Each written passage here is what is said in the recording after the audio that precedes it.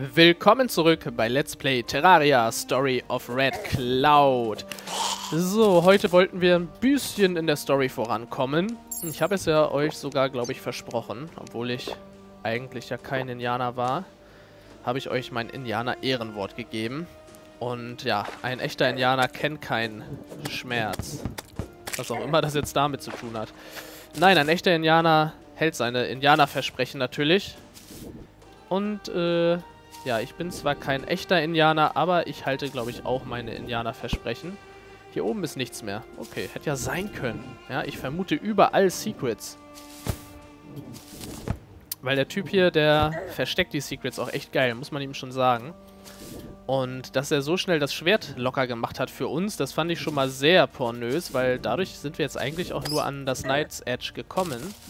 Wenn man es mal ganz nüchtern betrachtet. So, da drüben waren wir ja schon. Ah, jetzt kommt da wieder das. Na komm, und zack, kaputt. Scheiß Imb, ey. Warte mal, bis ich meinen Obsidian-Scheiß habe. Oh, da ist er. Ha, erwischt. So, hier haben wir ein bisschen Gold und ein bisschen Healing Potions. Die können wir auf jeden Fall gerne mitnehmen. Jetzt weiß ich gar nicht, waren wir hier oben schon mal? Jetzt ist hier Wasser auf einmal. Oh Mann, ey. Die können sich auch nicht entscheiden. Hier sind aber Truhen. Und Truhen nehme ich immer gerne mit. Ah, Gills Potion. Nice. Wer mich kennt, der weiß, dass ich Truhen immer gerne mitnehme. Manchmal ziehe ich am Wochenende los, um eine Truhe aufzureißen und sie dann zu öffnen. und sie dann auszupacken. Hätte sich, hätte sich irgendwie ein bisschen geil angehört. So, okay, hier hangel ich mich mal rüber. Jetzt würde ich gerne mal hier einfach loslassen. Man muss auch mal loslassen können, Red Cloud. Oh, was ist denn hier? Das ist jetzt so ein hoher Turm. Ah, ich glaube, das ist der Turm, wo ich vorher nicht weiterkam. Okay, hier würde ich aber sogar noch durchkommen. Ist hier unten noch was? Nein, okay. Gehen wir erstmal nach oben, Leute, oder? Ja, komm, wir gehen erstmal nach oben. Wow, Vorsicht hier. Meint ihr, hier ist was drin? Ja, muss ja eigentlich, oder? Die werden doch hier nicht so einen hohen Turm bauen. Und dann gibt es hier gar nichts. Das wäre ja Verarsche. Obwohl, ich habe mir sagen lassen, manchmal machen so eine Map-Ersteller sowas ganz gerne. Okay, es ist immerhin eine goldene Truhe. Die, jetzt habe ich das Licht angemacht. Wer weiß, wofür das schon wieder war. Ähm, auf jeden Fall gibt es hier 80 Hellstone-Barren. Und 80 Gold. Äh, ich sag eben mal Loot All. Nimm einfach alles mit, was nicht nito-nagelfest ist, mein lieber Freund und Kupferstecher. Jetzt muss ich eigentlich nur noch irgendwie an Obsidian kommen. So, aber frag mich nicht, wofür der Knopf jetzt schon wieder war. Ich weiß, dass es hier auf jeden Fall noch weitergeht und ich weiß, dass hier schon wieder Stacheln sind. Ah, Mann. Stacheln sind echt fies, weil Stacheln vor allem immer recht viel Schaden machen, finde ich. 40 Schaden hauen die immer rein. So, was habe ich jetzt hier Schönes? Die Flower of Fire. Oh, 50 Münzen noch einmal. Crystal Bullets. Diesmal habe ich aber hier wirklich Crystal Bullets liegen. Immer mal Loot All einfach. Nee, Mana brauche ich nicht. Und eigentlich brauche ich die Flower of Fire auch nicht so dringend, oder? 45 Magic Damage ist natürlich schon geil. Mit 17 Mana. Könnte man sich eigentlich überlegen, ob man die nicht behält erstmal. Ich frage mich nur, was mit meinen Crystal Bullets passiert ist. Beim letzten Mal. Habe ich die ehrlich nicht mitgenommen? Ich weiß es nicht mehr. Ich weiß es doch nicht mehr, liebe Leute. Ich weiß es doch nicht mehr. So, kann ich hier irgendwas Tolles jetzt äh, machen eigentlich? Ne, wir waren ja eben da unten erst. Fiery Falcon, okay. Ja, ich komme hier so ein bisschen Krams herstellen, aber die ganzen Sachen machen jetzt nicht so viel Schaden, muss ich mal ehrlich sagen. Nö. A last home that is consumed on use adds 50 defense. Oh, okay, 50 Verteidigung ist viel. Nö, ich glaube, ich brauche hier nichts. Okay, dann geht's wieder zurück. Aua, Stacheln. Aua, noch mehr Stacheln. Ich weiß auch nicht, warum ich immer in die Stacheln treten muss. Es ist so ein Bedürfnis, so ein innerliches Bedürfnis von mir, glaube ich. So, der kann sterben. Und jetzt mussten wir, glaube ich, nur noch hier genau hier wieder rüber. Jetzt muss ich irgendwie hier durchkommen. Und jetzt können wir wieder hinab in die Hölle. So, jetzt habe ich da irgendwas aktiviert, wie gesagt, aber ich habe noch keinen blassen Schimmer, wofür das war. Und hier sollte ich lieber runtergehen. So, hier drüben war ich doch jetzt schon, ne? Sehe ich richtig, oder? Hier war doch der... Genau, hier war das Feuerschwert drin. So, das heißt... Zack, einmal wieder rüber. Oh Gott, ich kriege ja immer nur Schaden. Kann machen, was ich will, ich bin zu blöd. So, dann gehe ich hier hoch und dann gehe ich hier rüber. Und was haben wir jetzt hier? Die Dämonensense. Die ist allerdings cool. Die mag ich echt gerne, deswegen schnappe ich mir die. Dann lasse ich die Blume hier. Ähm, würde ich eigentlich gerne hier oben reinnehmen auch. Hier das Wildthorn. Äh? Was habe ich denn jetzt gemacht? Äh, die Dämonensense würde ich gerne nehmen. So. Also Wildthorn mag ich auch echt gerne, aber die Dämonensense, die ist echt Deluxe Deluxe. Die ist schon Deluxe Deluxe Deluxe. Ne, die macht echt Laune, weil die auch äh, gegen manche Gegner ziemlich stark ist, weil die die auch öfter treffen kann. Aua, ach so, scheiße, ich stehe da ja drauf. So, dann machen wir es halt so. So, gib mal das Herz her. Okay, hier komme ich aber noch nicht so weiter da oben. Ist nämlich nur dieser Scheiß, der an meinen Füßen wehtut. Okay. Wow, da habe ich mich rüber geschleudert. das war geil.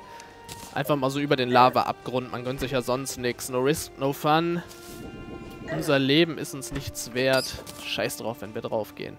Da oben ist noch eine weitere Truhe. Aber wie soll ich da denn hinkommen, ey? Da, da steht auch ein Hebel. Moment mal. Komme ich vielleicht... Oh, meine Fresse, ey. Mach die Tür doch einfach auf. Komme ich vielleicht von hier drüben daran? Wo geht's hier lang? Da geht's weiter runter. Oh, schaut mal hier. Hier kommen wir aber auch noch nicht rein. Kann ich auch nicht zerstören, wa? Nee. Keine Ahnung, was da los ist. So, was haben wir hier? Okay, das äh, hat mir jetzt nicht so... Oh, Bone Serpent incoming. Oh, und ich brauche Licht. Und ich glaube, ich nehme Jester's Arrows. Haha. Na komm. Wo kommt er denn? Da unten ist er ja schon wieder. Okay, wie viel hat er noch? 400. Okay, das schaffen wir jetzt auch mit Night's Edge, denke ich. So, sehr gut. Der bringt wieder mal ein paar Dark Souls. Allerdings bringen die recht wenig, muss ich sagen. Dafür, dass die so viel Lebensenergie haben. Okay, was haben wir jetzt hier auf dem Schild stehen? Wow, was der will's wissen, wa? Okay, dann hau ich dich halt in der Luft kaputt. Hier haben wir den Flamerang. Geil. Der macht auch ziemlich viel Schaden. 41, aber gegen unseren Dingens ist das jetzt auch nix eigentlich. So. Und jetzt hier oben hoch. Zack. Was steht hier drauf? You pull the lever and here a gate opening to the west. Okay. Close. Zack. So, müssen wir hier oben noch lang? Ich weiß es gerade nicht. Ah, da unten ist so ein krankes Viech gekommen. Das hat mich vorhin schon mal attackiert gehabt. Und das äh, hat diesen Fluch am Start. So, hier drüben war ich schon. Ah, was steht hier? Oh, Moment. You pull the lever and here a gate opening to the west. Okay, nochmal ein Gate, was wir öffnen. Ja, ja, wir öffnen einfach mal alle Gates. So, hier haben wir wieder mal ein bisschen Krams. Die Mana Potions hau ich weg. Dann kann ich nämlich auf Loot All klicken. Und, wow, ey. Dieses scheiß Viech teleportiert sich hier munter durch die Gegend. Aber irgendwie ist er momentan noch zu doof, zu mir zu kommen. Ist mir aber auch ganz recht so. Aua, war klar, dass ich mir da in den Kopf stoße. So, ich würde noch mal gerne schauen, was hier eigentlich so los ist. Wenn man sich hier schon durchgraben kann, dann machen wir das. Und da ist er, da ist er. Oh nein, der hat mich verwehrt. Meine Steuerung ist gerade andersrum. Und der hat, glaube ich, schon wieder dieses Dingens hier gedroppt. Ascheblöcke mal eben weg. Was hat der denn hier? Ne, das ist aber der Tome wieder, wa? Ja, genau. Also der droppt den einfach immer. Der denkt sich so, ja komm, kämpf doch mal gegen die, das macht richtig Laune, die sind voll cool drauf, die sind richtig lässig. Und ich denke mir immer so, nein, keine Lust. Oh, schon wieder 20 Gold. Also der will mich, glaube ich, jetzt hier echt reich machen. Das ist echt heftig, was du hier an Gold findest, ey. Ich frage mich vor allem, wofür brauchen wir Gold, weil wir kaufen uns ja eh nie was findet sich schon irgendeine Verwendung für. Ich glaube, ich gehe erstmal nach oben, weil nach oben kann es eigentlich nicht mehr so weit gehen. Behaupte ich jetzt einfach mal. Und ich frage mich, ob alle Leute, also würdet ihr auch jetzt hier so ein bisschen erforschen? Oder wäre euch das alles egal? Würdet ihr einfach so zocken, zocken, zocken Und diese Randwege hier gar nicht lang gehen. Ich gehe ja gerade echt hier jeden Randweg lang. Aber ich denke mir immer, komm, hier können überall geile Items rumliegen. Vielleicht habe ich Glück und finde was Tolles. Und jetzt muss ich aufpassen, dass ich mich hier nicht verlaufe. Jetzt geht's ja hier, jetzt geht's hier auf einmal schon wieder nach oben. Ach du Heilige, wo sind wir denn jetzt? Jetzt bin ich auf einmal wieder mitten im Dschungel und finde hier eine Truhe. Ey, das sieht aber geil aus. Richtig schön gemacht. Oh, die dunkle Lanze. Die dunkle Lanze. So, aber die nehme ich mit. So, Shine Potions haben wir auch noch mal ein paar. Die dunkle Lanze, 34. Ja, die ist geil. Ah, ist halt ein bisschen schwach jetzt, muss ich ehrlich sagen. Vielleicht finden wir aber auch noch mal die, die Höllenvariante. Ich meine, die ist noch mal einen Tacken stärker, oder? Ist es nicht so? Ich glaube schon. So, hier haben wir noch mal einen Hebel. Also, hier musste man scheinbar dann ja eh lang. Wenn du hier noch einen Hebel gefunden, gefunden hast, dann wäre es besser, wenn hier... Wenn deine Reise dich hier hingetragen hätte. Oh Gott, jetzt habe ich mich aber, glaube ich, echt verlaufen langsam. Hier war ich noch nicht, oder? Doch, von hier bin ich scheinbar sogar gekommen. Oh, was ist das denn für eins? Alter! Alter! Ja, was ist das denn? Ey, ich kann nicht schlagen! Okay. Jetzt kann ich schon wieder nicht schlagen. Alter! Noch nah. Nee, nicht noch eins davon. Wie lange hält der Zauber noch? Alter Vater. Das sind ja Mistviecher. Guck mal, was die mir alles dafür Scheiße angehängt haben, ey. Hier, alles von denen. Decreased Night Vision für 5 Minuten. Das ist ja asozial. 5 Minuten ist eine Menge. Da unten sind die. Assis. Da kommen sie.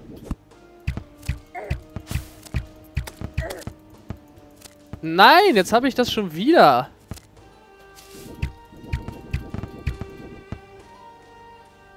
Wie soll ich die denn treffen? Okay, ich renne jetzt einfach weg. So, war ich hier unten schon? Ich glaube nicht. Oh Gott, ich sehe ja kaum noch was. Diese blöden Vollidioten. Wo bin ich denn jetzt? Doch, hier war ich doch schon mal. Oh nein, jetzt hat er mich schon wieder getroffen. Jetzt bin ich auch noch langsam. Aber die beiden Tore hier sind jetzt auf. Wenn uns das vielleicht irgendwie weiterhilft. Da war noch eine Truhe. Habe ich genau gesehen. Da haben die hingeschossen. Selber schuld. Jetzt habe ich die Truhe entdeckt.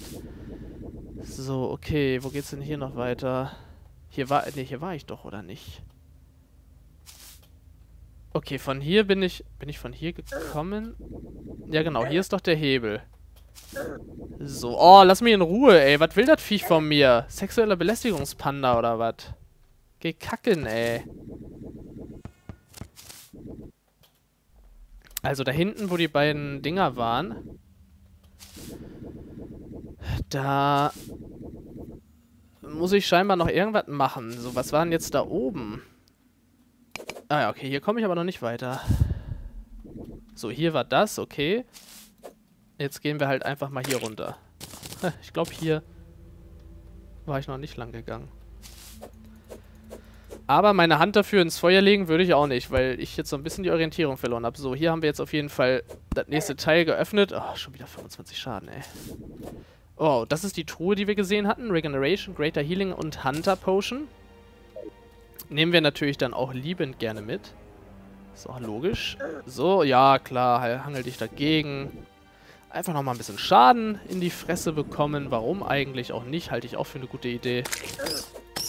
So, und was ist hier jetzt schon wieder los? Ey, vier Minuten muss ich das jetzt noch ertragen, ey. Ich habe keine Ahnung, was hier los ist. Muss ich hier oben rum vielleicht? Ich habe ja immer so das Gefühl, dass die an der Decke was verstecken. Weiß auch nicht, wie ich da immer drauf komme. Aber ich glaube, ich würde was verstecken an der Decke, wenn ich so eine Adventure-Map mache. Und deswegen denke ich immer, ja, alle Leute sind bestimmt so asozial. Oh, fuck. Jetzt muss ich aufpassen, Moment. Da drüben ist auf jeden Fall Asche. Wir würden aber gerne erstmal den Bone Serpent hier kalt machen. Wie viel hat er noch? Wie viel Energie? Ich kann ihn gerade nicht sehen. Da ist er. Das war jetzt nicht so gut, wie ich den gerade attackiert habe. Aber, haha, guck mal, das ist mies, oder?